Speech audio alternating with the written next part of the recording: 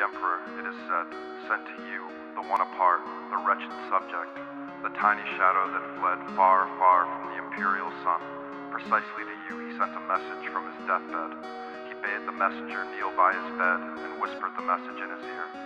So greatly did he cherish it that he had him repeated into his ear. With a nod of his head, he confirmed the accuracy of the messenger's words, and before the entire spectatorship of his death, all obstructing walls have been torn down, and the great figures of the empire stand in a ring upon the broad, soaring exterior stairways. Before all these, he dispatched the messenger. The messenger set out at once, a strong and indefatigable man. Thrusting forward now this arm, now the other, he cleared a path through the crowd. Every time he meets resistance, he points to his breast, which bears the sign of the sun, and he moves forward easily like no other. But the crowds are so vast, their dwellings know no bounds. If open country stretched before him, how he would fly, and indeed you might soon hear the magnificent knocking of his fists on your door.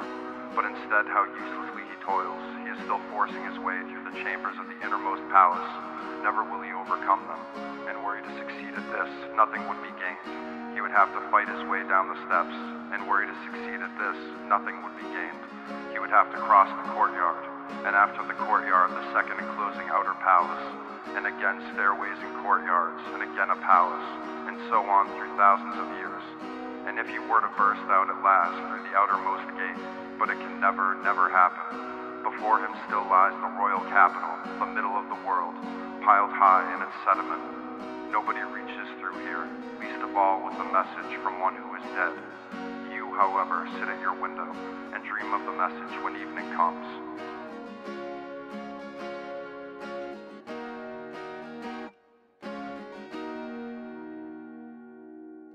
Dream of the message when evening comes.